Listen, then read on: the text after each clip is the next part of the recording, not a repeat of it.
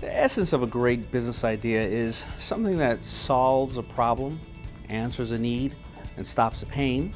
It also is an idea of how you're going to deliver it to the market and who exactly is that customer and why do they think that that adds value to their life. Before you ever think about laying out hard capital in regards to inventory or creating something, study what you're trying to do.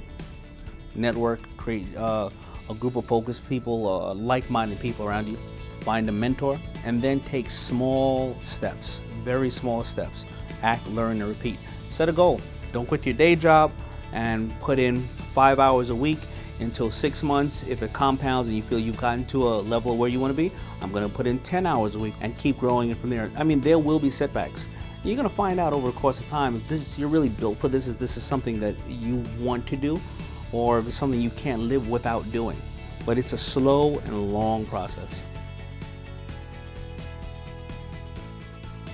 The, long, uh, the largest challenges to running business long term, especially for fashion companies, of course, staying on trend and on key. You can be too forward, or you could look like, you know, what people were wearing yesterday.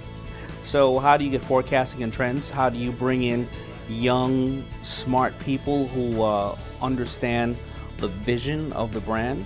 And also, how do you keep supplying your customers where they're starting to go? It's always really having your finger on the pulse and surrounding yourself with people that know just as uh, much as you do or even more. How can they describe themselves? I like to say, can you describe yourself in two to five words, right? What are you passionate about? Whether it's, you know, uh, Nike Just Do It or Fubu For Us By Us, what do you describe yourself? Also, on your social media platform, way before you get to the interview process, people are looking at you through there.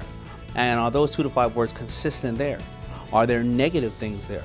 Then make sure that you study the target or interviews or people you're going out to to see if you really fit within their system and what do they want.